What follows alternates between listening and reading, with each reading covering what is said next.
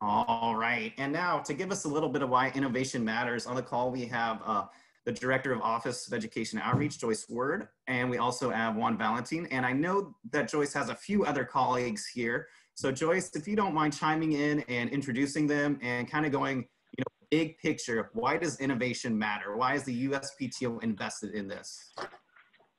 Okay, absolutely. Hello, everyone. Um, thank you so much, Adam and uh, Jay, for inviting um, the USPTO to participate in your inaugural uh, distance learning uh, program. Uh, on the line with us, we have Juan Valentin, who you mentioned, and we also have Tanaga Boozer, who is Boozer, who is also an education program advisor, Jorge Valdez, and I believe Christopher Dulce, who is a program analyst in our office. We are small but mighty. You actually have the entire education and outreach team here with you on the call.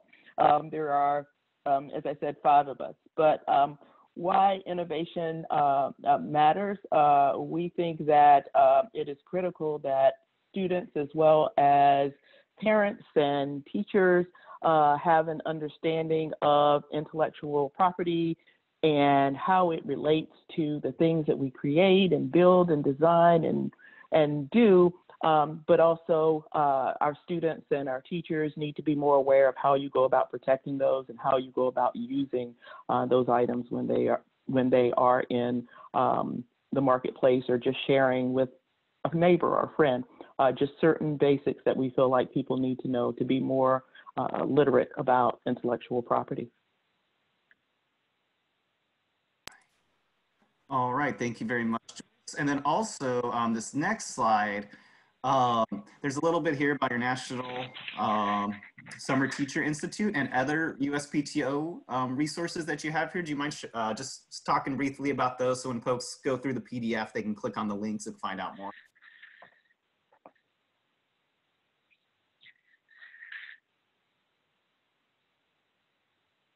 Oh, Joyce, um, do, you, do you mind sharing about the resources? Um, oh, yes, absolutely. Uh, so the first link there is to the USPTO's main uh, page that takes you to uh, the USPTO in uh, general website. Uh, we have lots of information there. The first thing you'll see on the screen is, mm, are you new to the USPTO? And you'll see a menu of different options uh, to give you an idea of what part of the site you want to go, go to. USPTO.gov forward slash kids uh, is the USPTO's uh, kids pages, where you'll find resources for students, but also for teachers and parents as well. Uh, we are very impressed with Oregon State. They minded and found uh, some items that uh, we haven't seen in a long time. So very, very happy uh, that they are that those materials are being used. Um, the next link there is inventor, kid inventors or young inventors. Uh, that section of the website has stories of young inventors uh, that uh, you can utilize to introduce students to uh, students who are inventing. A lot of times people may think that, oh, you made an invention, that's very cute, or you entered this competition, but we want students and parents and teachers to know that students really are uh, creating things that they then go on to seek patents on and that they start businesses that um, they're entering and uh, winning all different types of competitions. They're coming up with devices uh, that change their environment or their neighborhood, or maybe it's a device that helps their grandfather or their grandmother. And so um, we think it's really important to tell the story of young inventors. So on the kids site, you'll find stories of young inventors, um, but you'll find stories of inventors woven throughout the USPTO website. Uh, we have our Science of Innovation resource, uh, which is a, a, group of videos that talks about um, the connection between basic research, R&D, and innovation. Uh, those are usually um, mid, early to mid-career scientists and engineers who are involved in invention, inventing and who have innovated various products. Uh, in addition to the science of innovation, we also have uh, series called Journeys of Innovation, which you'll find on the USPTO's main website. And that uh, follows the journeys of different people who have been engaged um, with intellectual property and with um, the invention process. Um, again, you'll see the story of inventors woven throughout the USPTO website. We think it's very important that people know that inventors come from every walk of life. Um, they have differing abilities. They are women, they are men, they are from rural America, they are from urban areas, they're from all over, and yes, suburban, suburban areas too. Um, and so we think it's very important that all of our students have the opportunity to see and know uh, that their ideas have tremendous potential and what they do with those ideas um, when they translate those into something tangible or something that can be reproduced, that there are opportunities um, to not only celebrate them, but also to share them with others, sometimes to commercialize them as well. And uh, the uh, last program that I will uh, mention is our National Summer Teacher Institute. This is an annual program of the USPTO. Um, we are now in our seventh year. Uh, this is essentially a boot camp for educators. It is open to K-12 educators throughout the country. And uh, we bring teachers to um, a, uh, location for a week-long training where they learn about um, intellectual property, patents, trademarks, copyrights, trade secrets in the context of uh, STEM education and in the context of um, integration, how they can integrate uh, making, um, entrepreneurship, how they can take a number of different skills that they may already be doing in the classroom and uh, modify those to help students have a broader understanding of uh, literacy, intellectual property literacy. And those are some of the types of activities that I think um, you'll see today with uh, Oregon State University. So we are currently accepting applications for the National Summer Teacher Institute, uh, and we would welcome applications from all of you. Awesome. All right, and with that in mind, we're going to transition right into connection to the Oregon Distance Learning for All. And one you'll see a lot of here, building on what Joyce said about um, things in the classroom may already doing um, innovation, and at least the way that we're going to present it here, uh, we're going to try to present it very relevant to students. We'll be talking about household items, hopefully ones that they've already been interacting with. Um, we see innovation as really a good opportunity for interdisciplinary and well-rounded learning. Um, and it aligns with K-12 standards. For the NGSS ones, it's um, the ones about society, technology, um, and innovation and how they kind of all build on each other as we move forward and change over time and our needs and wants. And then also with the Common Core uh, standards. So thinking about um, a lot of those evidence-based explanations, pulling things from text or using pictures or imagery to enhance a story um, as kind of evidence. Um, so we're gonna see some activities that have independent research in them, interviewing a family member, drawing and creating, and then some critical reading or critical literacy. Also, it's important to understand we won't be addressing this here, but within this, it came out with nutrition and wellness as also being another thing that teachers should uh, tend to so far as mealtime and physical wellness. Um, so trying to make activities active is also something that's very important. All right, so let's look at the first lesson. Okay. Um, oh, in the chat, um, just getting off your chest. So what do you expect students to have access to at home? So think chat and share. So think for a moment, reply in the chat, and then I'll read out a few answers and really want to focus on what they have. So this could be kind of an asset-based thinking. Um, we can maybe go with a place-based approach. So what do they have there? So think about it. I'm going to mute myself so I don't keep talking and then reply in the chat.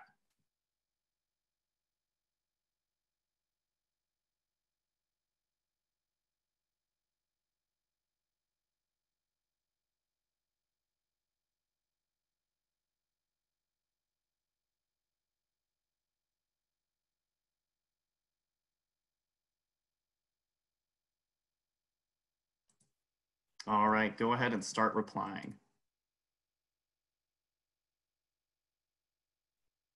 Okay, Julie students have internet and a Chromebook, arts and crafts materials, iPads, laptops.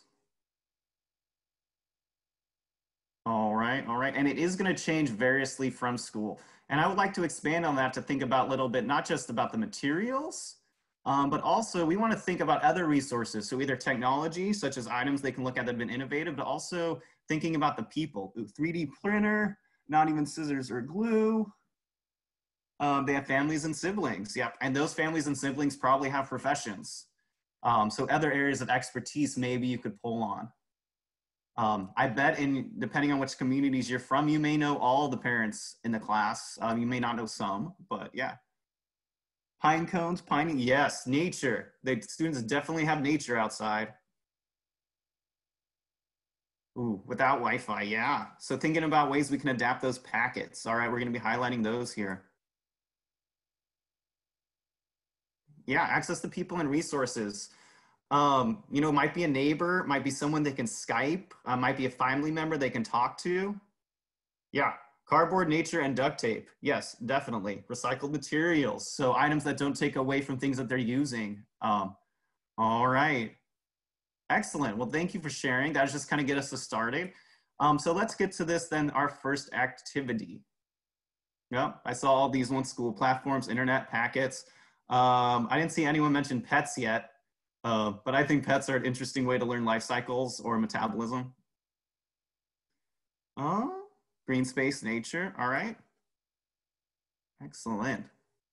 So the first activity is who are innovators? Um, this is a reflection activity. Um, students will watch a video. There's a guided reflection that comes along with that.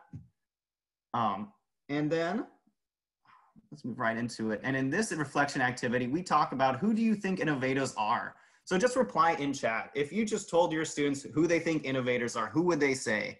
Uh, would they say like a music star like Billie Eilish? Um, who would they say if you were like, who's an innovator? Tell me one. My dad. My dad, yeah?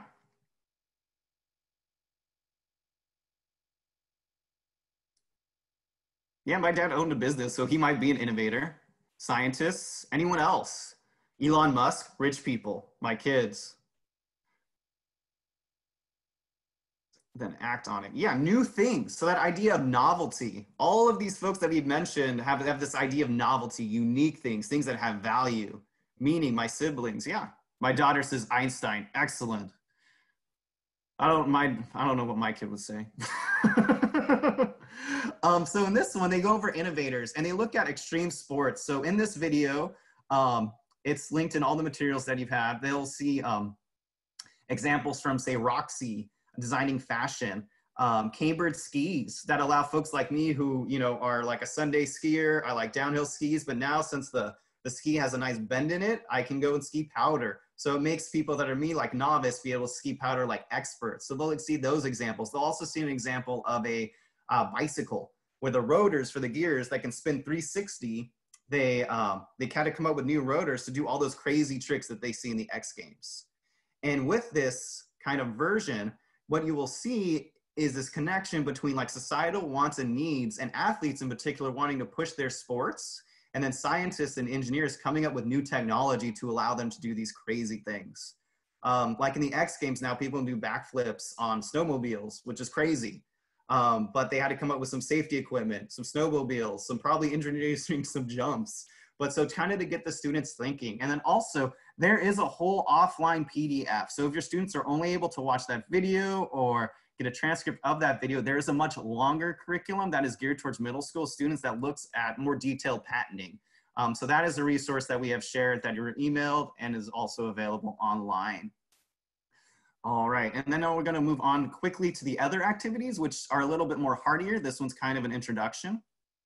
Um, and the next one is inter, uh, innovation timeline. And this one, the students are focusing on interviewing. Um, they're gonna wanna interview someone who has interacted you know, with a space, so in their house. Um, maybe they've seen something old change over time, uh, or maybe they act with the same thing differently. So generally they're looking for someone older, someone younger, um, intergenerational. So maybe they Skype uh, older cousins or um, other family members they have, perhaps in other countries, but wherever they could use kind of that telecommunications, or they could just call them on the phone and be like, hey, what do you use? Um, and that is important because they're going to talk about these things. And what we want them to think about in this prompt is changes in societal needs and wants over time. And so those changes in what society needs and wants also goes along with advances in science and engineering that result in new technologies. So there's kind of a then moment of something. Then there's innovation that happens over time. And then there's the now of how I experience it. So I'm experiencing technology different than say someone who lived say 20 or 30 years ago experienced their technology. And so in this activity, we ask students to really think deeply about that. And so we're gonna do a breakout session really quick because in this innovation timeline, the students kind of think about how we're using the example of a smoke alarm. They're probably all in your houses if you're staying home. Um, if your home was built, I think after the 1960s or 70s. So here's a picture, um, super heavy duty supercell battery. I don't know if that's an original battery, but here's an older one from the 1970s. You can look at, you know, consider materials, use, size. But then in 1995, how did these kind of smoke alarms change? Um, and then thinking about today's modern smoke alarms, um, you know, these ones have certain, I see hardwiring here. This one I see symbol for wireless. Um, so in a moment, um, I would like you to have to do kind of a breakout of thinking about, you know, how has a smoke alarm changed? And while you're in that breakout for about five minutes, I would like you to think about um, how the smoke alarms changed and then what could be a good thing for students to look at in their household.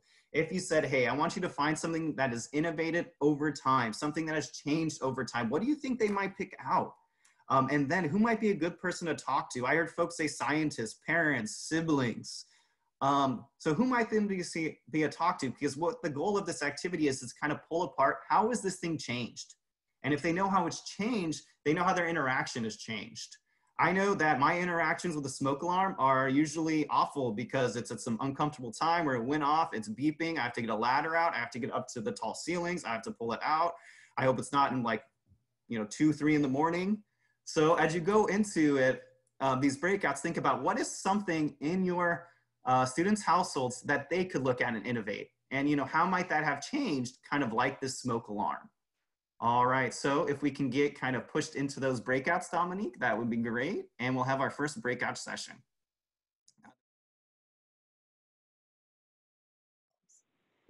Awesome. So um, if you don't mind in the chat as you're joining back in, just jot down some things that you uh, talked about with your group. So the item maybe, and also the person that they talk to.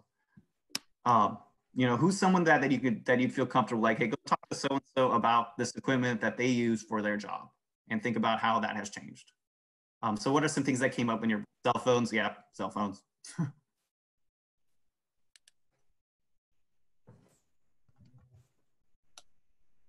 oh man, there's a whole lot right there. Appliances. Yep, talking with grandparents. Uh, what do you in the house? That's how people start the doorbell, video games. Yep. And so uh, back to the example here that I, in case you decide to use it with your stuff, um, this next slide that I have is what I learned about the oh. smoke alarm and what I did and some of these obsolete phone book, yeah, kindling, maybe. Uh, yeah, things that became obsolete. Um, but also, um, so here I have a, the smoke alarms. And what I did about this is I looked online um, and I looked at the history of smoke alarm. I also pulled up First Alert. I noticed the brand name First Alert, and I thought, like, what, did, what have they been doing? And these are some facts that I found. Um, so 1970s, um, that was about when these first started, and it was $125 for smoke alarm. They're generally for industrial use, commercial use. Um, works for the USPTO. He helped do the spot the invention activity that we'll see later on. And there's a patent actually of a smoke alarm on it that helps with this kind of optical read that sees how cloudy kind of the air is getting, uh, what particles are in it. And that's what triggers the alarm. So you have to actually like blow in it. And that's when I realized why I've always seen people kind of like fanning a smoke alarm to get it out. It's actually the, the smoke thickness that it's reading. Uh, but then we got reduction in cost and size. And so 1995, 10 year lithium ion battery. So this is when we first got our first operated ones. I think also around this time, uh, they began being standard in hardware. I believe they became uh, somewhere, I think before 1995, they became standard in houses. Um, so beyond commercial and industrial use. And when I looked up, um, this is uh, just a picture here. I think it's from Home Depot. I just wanted to see like, what is the most amazing smoke detector I get today? And it has Wi-Fi. So how I told the story about always having an impromptu time when it's dying and low battery and I have to go up and change them, this will actually send you an alert and tell you you need to change your battery. And also carbon monoxide is sometimes forwarded into these. So thinking about the carbon monoxide, how it has changed. Um, yeah, and another group offered mentioned music. So music, musical instruments. So just thinking about how has something changed? Um, you know, pre 1970s, um, you know, if smoke going off and a fire in your household, um, safe because there was nothing to notify you. There's things to notify you. You can feel safer at home. You know when they go off. I heard my neighbors going off the other day, and I was wondering, they're probably cooking Sunday dinner or something. Um, and so just thinking about, you know, how have these changed and prompting them to talk to someone. Um, I think something that could be really good here could also be heirlooms. So things that they've kept, things that they've used, and things that haven't changed. Um, because in this prompt, it'll ask them to think about, you know, what is one key advancement that it had that moved it from where it was uh, about 50 years ago to where it is now? And then what's probably an in-between stage? And if the students pick a household item, there's a good chance moving to the next activity. Um, we about this at all. I, I, saw you folks thinking about the, the people, parents, grandparents, and so on. So we're gonna move past this slide real quick. Um, but that brings us to the spot the invention. So um, spot the invention talks about patents. And what we're going to, I'm gonna go up just a little bit. And what that does is they can go to USPTO spot the invention and click on these ones and twos and tens and they can pull up a patent for each of them. So this patent asks them to read about it. Um, to read about it, but they only have to pull out key information to be successful at this. So things such as what's the what's the patent date, um, and then if they think it's similar to an invite an item they have in their own house. Up here, I think it's number 20 or number 21. One of those is an actual smoke alarm. And then I think number 14 and 15 down here, one of those is an actual video game system, um, like a really old one. And this is like a plasma, uh, or it might be an LCD TV. Um, so these are kind of what I would call like keystone patents. Um, so they have to think about and read them and think about if their item in their house is similar or different to the patent that they found um, through USPTO spot, uh, spot the invention activity. And so within that, um, they get to bring in a lot of that kind of critical literacy and then make a claim about if this the same or different than what this is. The offline version of this activity, which Joyce and Juan were able to provide, is these same images, but students would go through and they'd circle everything that they thought um, was a product kind of innovation and history, and then they kind of flip it over, and then they'd see kind of the matching patents of if they were able to pick them out. This is a picture of a living room. Um, and that's what's done for the online activity. Um, but there's also different images of a classroom and images of a street view. So they see things like electric cars in that one, generators, uh, um, kind of cable cell towers. So those sorts of things are also there. So this is kind of uh, like a seek and find kind of an activity. And in these patents, if you look at this one right here, right, that's the patent that I pulled out of the fire alarm box. Um, what you see here, and folks from the USPTO, feel free to chime in um, on this information. Um, but names, you'll see some details, numbers, drawings, pictures, languages, you'll see some diagrams. Um, pictures are kind of, Juan and I were talking and Joyce about the other day of like, are these essential? So apparently pictures can be given. They're kept on disk for some of the older ones, but they're not essential. Usually they prefer hand-drawn drawings and diagrams. And so Juan or Joyce, um, if you'd like to chime in and kind of say, you know, what else is there looking at patents and maybe see, you know, what, how does the USPTO make these patents? What, what role do they play in innovation? Yeah, hi everybody, this is Juan. Uh, so just real quick backtracking to the, the previous slide, uh, the idea that intellectual property is everywhere, I think is um, a really critical uh, component to to the aspect of, of what we're trying to to teach students and and teachers adults as well is the fact that we go through our daily lives and we use all of these inventions but we never really stop to think like man this this came from somebody's head. Like this this was an idea that was turned into something real and tangible that we physically touch or interact with on a daily basis, but we never really think about the origin of of what we're using, right? And so these pictures really bring to life everyday items in our houses, in our classrooms, and everywhere in between. And and it really is not for history purposes. I mean, it really cross um, technology. It just really crosses a lot of different discipline areas um, to pique the curiosity within our students. Um, and so I think it's just really great to to be able to touch on these points and have have them learn in this way. Um, but yeah, and so in terms of patents and innovation, um, I really this patent cover, um, and we, we have an anatomy of a patent that we can share as well. But basically, this has a lot of great information on it from the inventor's name, which you can see at the um, listed at the very top where it says inventors and where they're from. Um, and then you have the filing date of the patent. So that's the date the actual patent application was filed. And then you have the issue date, which says where the cursor is now. That's the actual date that the patent was issued. Um, and the abstract is a great little starting jumping off point for the actual invention. And it's just a quick description of the invention and a little bit about um, what, it, what it's about.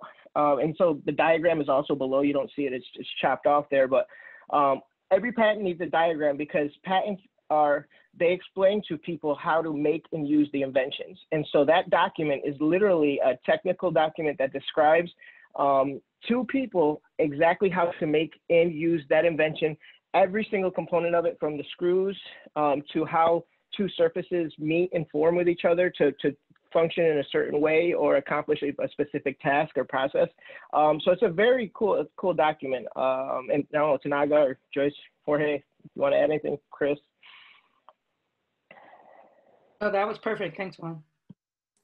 Yeah, and to and to um, to give you an idea, um, there's the one of the classroom in there. There's projectors, there's smart boards, um, and in there there's even a blue recycling bin.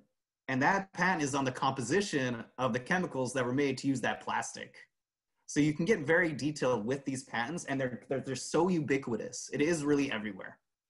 All right, so that is the um, spot the invention activity. Um, and like I said, there's an online version of this and an offline version. And it's kind of just building on that idea, starting back again, thinking who are innovators? Where did they come from? What do they do? Seeing kind of that popular culture imagery of X Games and then coming really focusing on that kind of place-based or funds of knowledge like what is this in my house that i'm using and like how has that changed so trying to look make it breathe that awareness to the, the rich context of their lives the rich technological and innovative context of their life all right so next well we're already here i'm gonna check my time Ooh, we're doing real good on time yay um, so claimed invention. Um, so this was developed by USPTO. This is an awesome activity. It's one of my favorite activities that I've done, um, just because it's so it's so much of a deductive, logical reasoning activity. Um, and in this, um, so thinking back, we asked the students to reflect early on. We had them interview someone, um, explore a patent, kind of a thinking about that, and then now we're going to ask them to create. So how are they going to create something? Um, and to give you an idea, um, the claimed invention, there will be some, I'm gonna go ahead and pull this one off, uh, uh, up right now. I'm gonna stop that sharing. I'm gonna go over here. I'm going to pull it up right here. Uh, make this bigger. There is a colored version that's posted online. This is not the colored version, um, but it is posted. Um, so here, a claimed invention for Gears, Gears the Robot Cat. You notice that this also has some excellent trademarking, the, uh, the spelling, the GRS right there. Um, and remember, this is a claimed invention. And can, um, can Joyce or Tanaga, um, can you, can you or, or whoever else would like to, can you chime in and tell me what, what do you mean by claimed? Adam, is, is the, the lesson supposed to be up there? Because all I see, we just, I just see a spinning on your screen maybe my computer.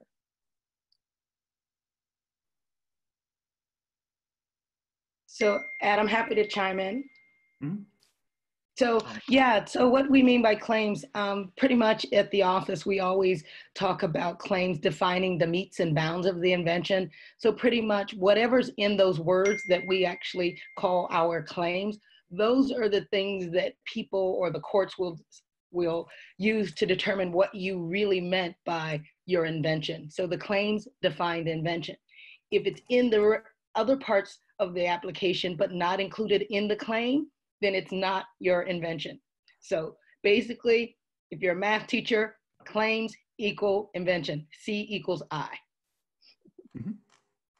And then what you'll see here at the bottom of the activity, um, so the students have to make a claimed invention. So they're gonna kind of recreate or reverse engineer, um, I believe for Miss Pat, and that's for Cat Gears, and it's a toy, but there's some stipulations. They have to make it from the claim. So just how we saw Um, if we've gone further into past the abstract of the um, smoke alarm, we would have seen claims particularly about a smoke alarm.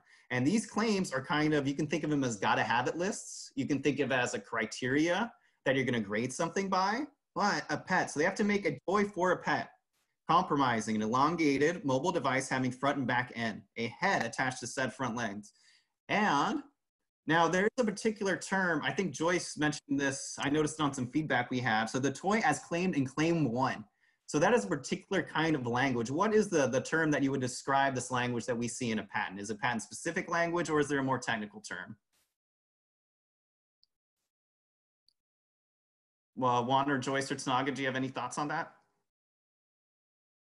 Yeah, so the claim language is definitely tech, um, it's a descriptive. So like Tanaga was saying, it describes the metes and bounds of the claim. So um, in the unlikely event or likely event that this um, gets challenged in court, a judge is going to go to directly to the claims to see exactly what the claimed invention is, and that's how um, infringement will be determined using the, the claim language of of those claims.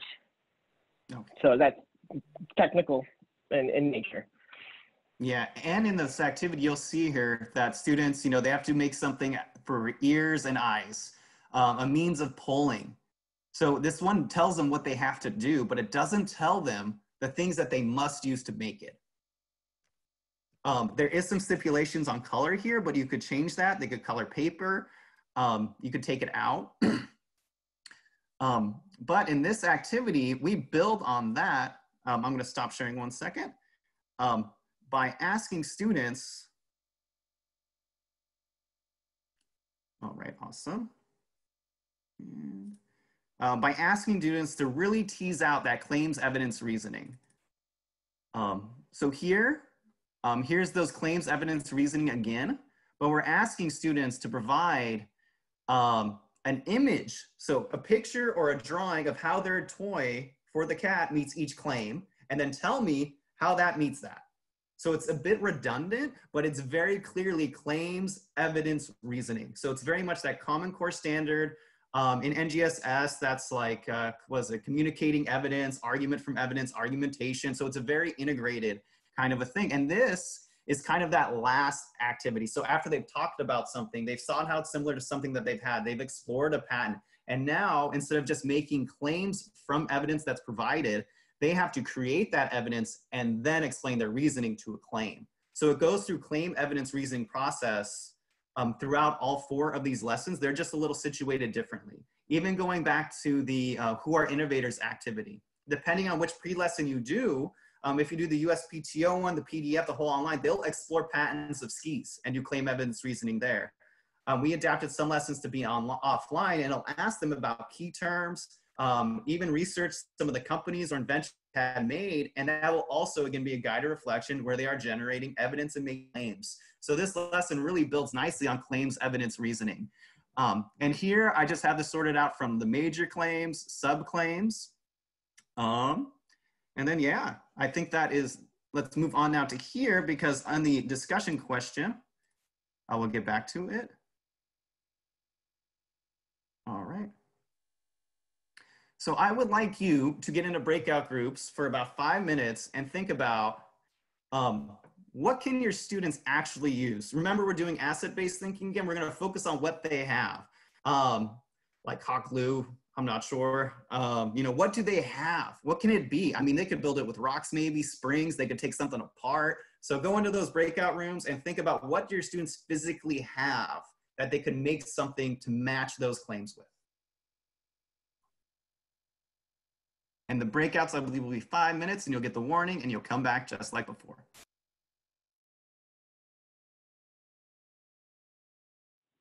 Uh, we're back. There we go. Okay. Wow. Awesome. So if you don't mind uh, putting in your chat any any novel or materials or thoughts that you have that that your students could use to complete this activity.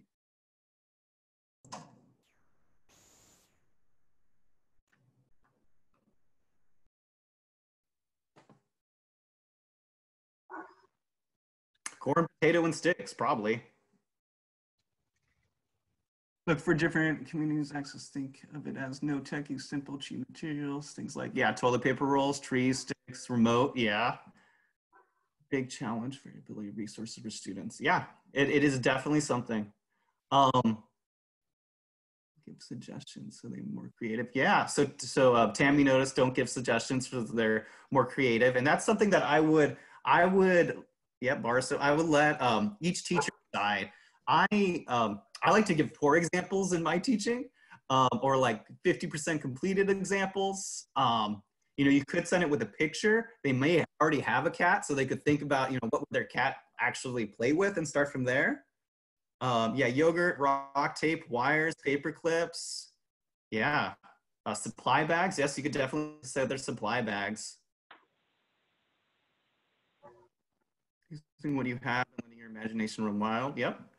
Um, and also, um, so no, um, for, for things like this, if you're particularly a teacher in a small community, you might be able to do no contact drop-offs. Um, talk with your school about that, make sure that they'd be okay with it. But like you can make your, your, your cat toy for another student, post it and maybe exchange it um, and they could use it with their cat and actually test it out.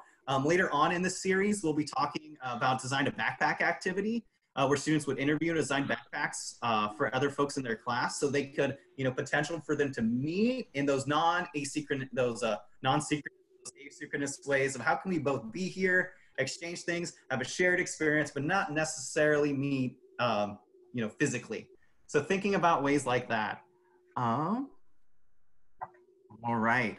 And so I, um, I attended a teacher workshop by the USPTO, and then I, with our other pre-college program teachers we work with. So this was, you know, full supplies. It was stocked, and here's are some items that they use: tongue depressors, strings, corks. Granted, this would be if it wasn't a standard classroom. Say after this, you want to do this in the classroom.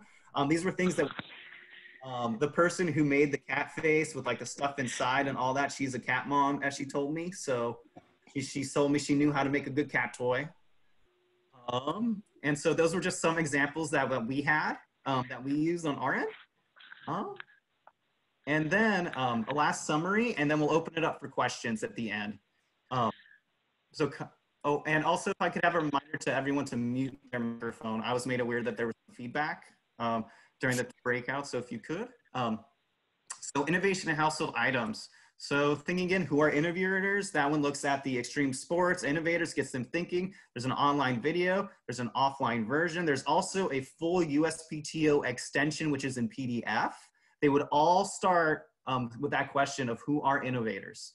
And from that, we move to the innovation timeline, thinking about something that has changed um, in three stages, um, interviewing a family member or another person about that, um, so that builds that kind of local contextual home connection, spot the invention. So thinking about how inventions are all around us, intellectual property is everywhere, it's very ubiquitous.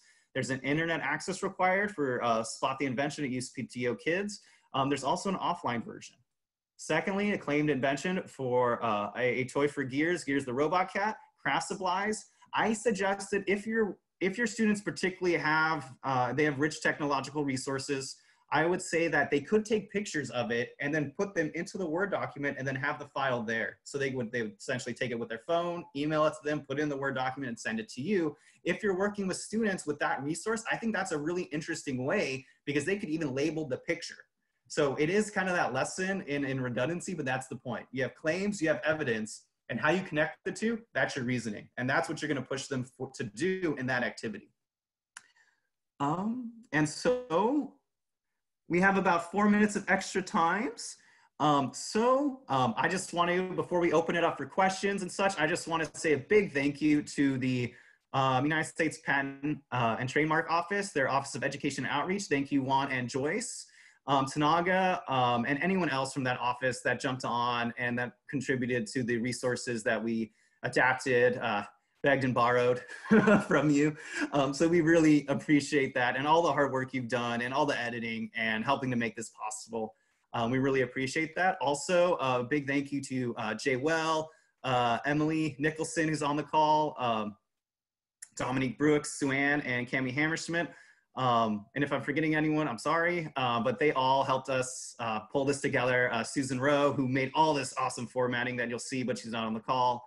Um, so thank you for, for pulling that together. Um, and then thank you participants for being here. Uh, we would have just an empty room with just us like six people and be pretty bored if um, the other folks of you didn't come. So thank you. So now um, you can take your, um, you can either, you can just submit your question in the chat and I will, um, I will share it out the best that I can. So if you have any questions, you can go ahead and put it into the chat and I will read it off um, and try to answer the best I can. Um, or if there's a big vote and everyone like, show me the, show me the Word documents, I can go over there and pull them up on my screen, but they should have been emailed to you and they're available online. Um, so if there's any questions, um, just reply in chat.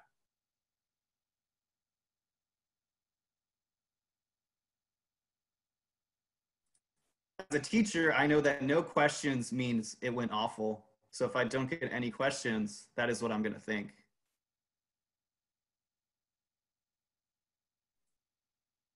Um, yeah, so Tammy asked about PDs and PDUs. I believe we are offering PDs and PDUs uh, for this session.